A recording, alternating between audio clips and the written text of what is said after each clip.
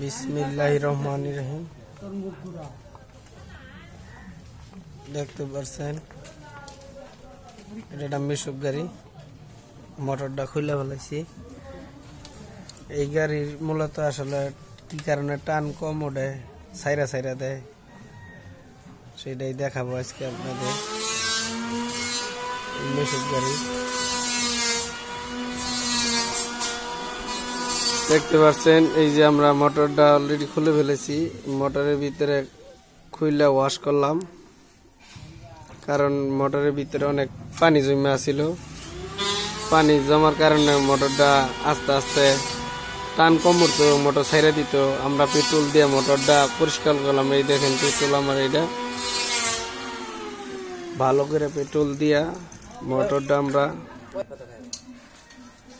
এই মোটরটি আমরা এখন ওয়াশ করছি। ওয়াশ কইরা কমপ্লিট করছি।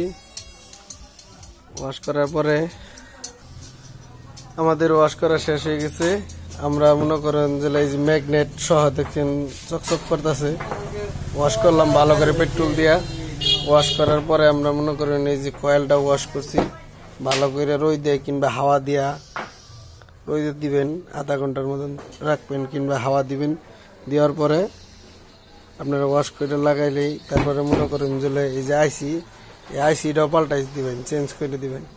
এই আইসিটা চেঞ্জ করে দিয়ে ওয়াশ টাশ করে সব কমপ্লিট করে লাগাইলে মনে করেন ইনশাল্লাহ চলবে।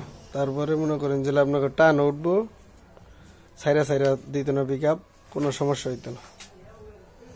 আর কোনো ভাই যদি দেখেন এই ধরনের মোটর কোনো সমস্যা দেখা দেয়, না বুঝেন আমাদের নিচে নাম্বার দেওয়া আছে, ফোন দিবেন, যোগাযোগ করবেন, আমরা চেষ্টা করব আপনাদেরকে বিস্তারিত বুঝাই দেওয়ার জন্য।